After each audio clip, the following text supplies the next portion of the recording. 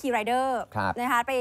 ให้บริการส่งของส่งพัสดุตามบ้านต่างๆ แน่นอนว่าเจอกับคนหลากหลายนะคะ ที่มาดีก็ดีนะคะ มาที่แบบว่ามีปากเสียงกันก็มีบ้างนะคะ แต่ว่าหนุ่มรายนี้เจอคนใจดีค่ะเขาบอกว่าไปส่งของนะคะที่ซอยนี้เนี่ยเป็นเวลา 3 ปีมาแล้ว เจอคุณย่าท่านหนึ่งค่ะเอ็นดูเอ็นดูเขานะคะแถมไม่พอเนี่ยเวลามาส่งของให้นี่นะคะให้ติปกลับไปด้วยแถมไม่พออวยพร ทุก ๆ วันเลยจนทำให้เขาเนี่ยมีกำลังใจในการทำงานต่อไปอะอ๋ไปอดูเหรอคลิปนี้กันครับย่าเขารักเราเลยรักมากเลยคนอื่นมาส่งแล้วปกติไม่มี มีแต่เราคนเดียวที่เขาจะถามเขาเสียงมอไซค์เขาจำได้ทันมอไซค์เสียงดัง ไม่เจอย่าอันนี้ได้คุยกับย่าน่าดูน่าดูจ่ายย่าให้หนูไปกินข้าวนะลูกนะโอ้ย่าเยอะไป บุญทักษานะ เดินทางรอดปลอดภัยพบคนดีสิ่งดีไปไหนมีคนรักคนสงสารนะลูกนะครับย่าย่ารักหนูนะโอ้โหรักย่าเหมือนกันเลยค่ะขอบคุณนะครับย่าไปกินกันวันหลังนิดนิดหน่อยหน่อยๆก็พอย่าโอ้เอ็นดู ให้ให้ทิปแล้วยังให้พรด้วยใช่เออ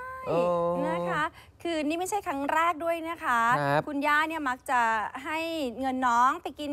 ข้าวไปกินขนมอ๋อนะคะ10บาทบ้าง 30 บาทบ้าง รอบนี้เนี่ยคุณย่าให้ตั้ง 100 บาทเลยนะคะเอ็นดูเด็กคนนี้จริง ๆ เดี๋ยวมีอาจจะเป็นแบบเหมือนอมเพราะอะไรนะ คุณย่าถึงได้เอ็นดูขนาดนี้เดี๋ยวมีบอกด้วยนะคะ ครับ แต่ก่อนอื่นเนี่ยต้องบอกเลยว่าหนุ่มไรเดอร์รายนี้นี่นะคะ มาส่งของที่ซอยนี้เนี่ยสามปีแล้วนะคะ ชื่อว่านายชวการสอนวิสูตรนะคะ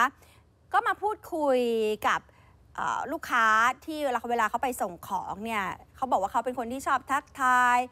แล้วก็พูดคุยเป็นกันเองนะคะ กับคนที่อยู่ในซอยนี้ทำให้คนในซอยนี้ก็รู้จักเขานะคะ ส่วนบ้านของคุณย่าเนี่ยก็มาส่งของเป็นประจำทีนี้บางวันเนี่ยนะคะ ลูกหลานไม่อยู่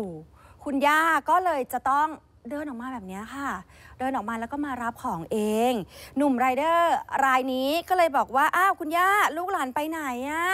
เอาอย่างนี้ไหมถ้าวันไหนเนี่ยลูกหลานไม่อยู่เนี่ยผมอะไม่อยากให้คุณย่าเนี่ยเดินออกมาเลยนะคะ คุณย่าให้ลูกหลานเปิดประตูเอาไว้ไหมแล้วเดี๋ยวผมเนี่ยจะเอาพัสดุเข้าไปส่งให้ในบ้านเลย คุณย่าก็ประทับใจอะค่ะ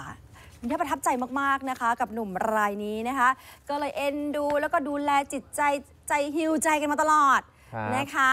แล้วก็หลังจากนั้นเนี่ยนะคะ ก็เลยมาเอ๊ะหนุ่มคนนี้ก็เลยสงสัยว่าทำไมคุณย่าถึงเอ็นดูขนาดนี้ คุณลูกของคุณย่าก็เลยเล่าให้ฟังว่า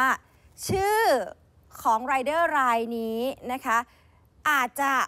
ไปตรงกับชื่อของหลานสุดที่รักของยายด้วย ก่อนหน้านี้คุณชวการหนุ่มไรเดอร์เนี่ยเขามีชื่อว่านาราทิพย์ อ่าชื่อนาราทิพย์เหมือนหลานคนหนึ่งของคุณย่า ส่วนชื่อเล่นของไรเดอร์ชื่อบอสก็ไปตรงกับชื่อหลานอีกคนหนึ่งด้วย อ๋อ ก็เลยรู้สึกว่ามีความผูกพัน มีความเอ็นดูนะคะ ตอนแรกเนี่ยบอสน่ะนะคะหนุ่มไรเดอร์เนี่ยเหนื่อย ท้อใจ เวลาไปส่งของบางอืมบ้านเนี่ยก็อาจจะเจออารมณ์บ้างนะคะเออก็ท้อใจไม่อยากทำงานแล้ว แต่พอมาเจอซอยนี้ทั้งซอยแล้วมาเจอคุณย่าอีก เขาบอกว่าเขามีกำลังใจใจฟูในการที่จะทำงานต่อไปค่ะอืมอืม